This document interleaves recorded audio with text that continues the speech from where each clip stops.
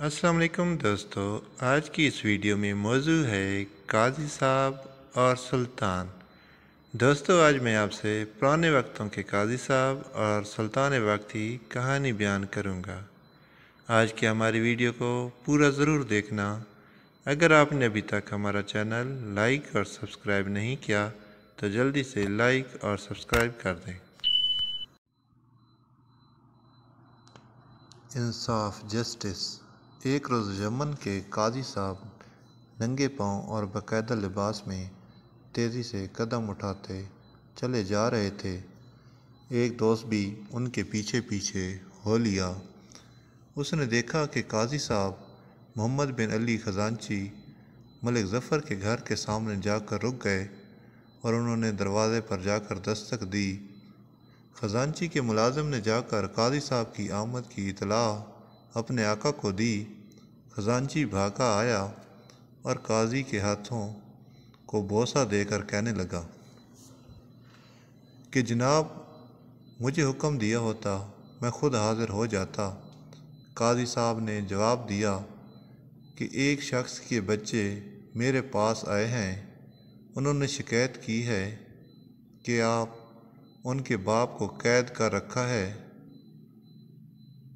بچے باپ کے بغیر بری حالت میں ہیں۔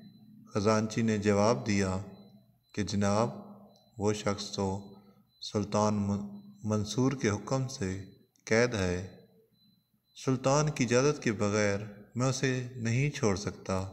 قاضی صاحب نے فوراً سلطان منصور میں قاصد دوڑایا۔ سلطان منصور نے اس شخص کی رہائی کا حکم جاری کر دیا۔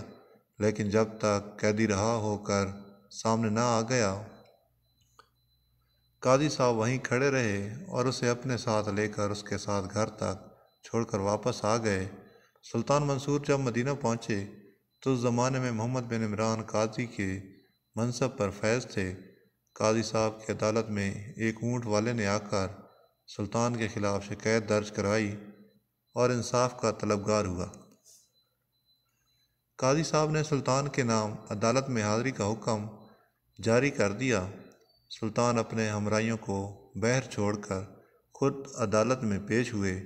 قاضی صاحب تعظیم لانے کے لیے اپنی جگہ سے نہیں اٹھے اور بدستور اپنے فرائض ادا کرتے رہے۔